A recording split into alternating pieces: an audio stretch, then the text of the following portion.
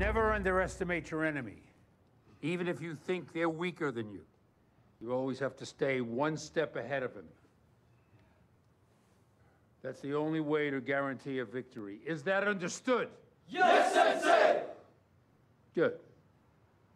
Now let's see if you truly understand the lesson. I want you to kick this tree off the top. Red, you start.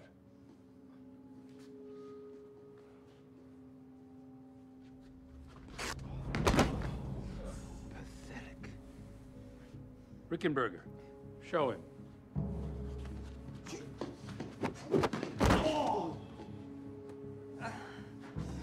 Stop your sniveling. I can do it, Sensei. Well, what are you waiting for?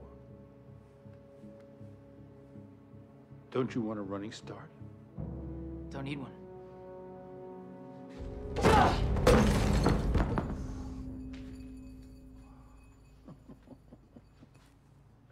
Not bad. Not bad at all. But he cheated. No, he didn't. Unlike you, he did exactly what I asked him to do. If your mind is agile, so are you. That's the best way to beat your enemy. Not just with brute strength, but you have to fight smart. Do that, and you will always come out on top.